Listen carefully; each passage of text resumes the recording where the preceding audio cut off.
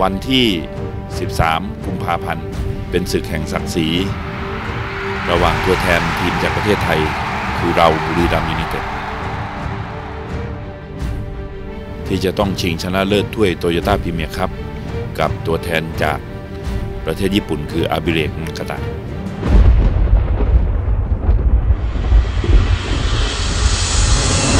และที่สำคัญที่สุดก็คือในปีนี้การแข่งขัน โตโยต้าพรีเมียร์คัพนัดชิงชนะเลิศถูกจัดการแข่งขันขึ้นที่ไอโมบาย stadium บุรีรัมย์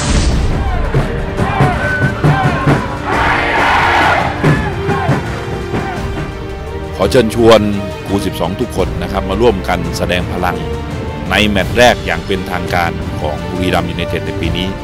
เราจะเป็นแชมป์แชมป์แรกในบ้านของเรา เพื่อเริ่มต้นการเป็นยอดทีมของประเทศไทย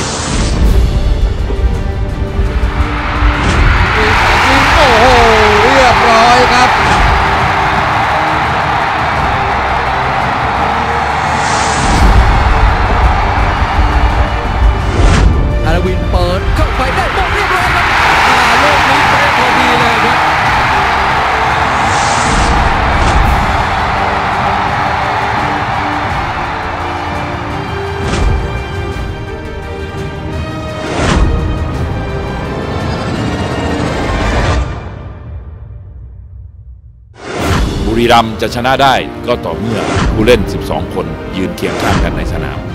ผมหวังจะได้เห็นผู้เล่นคนที่ 12 ของบุรีรัมย์เต็มไบโมบายสเตเดียมในวันที่ 13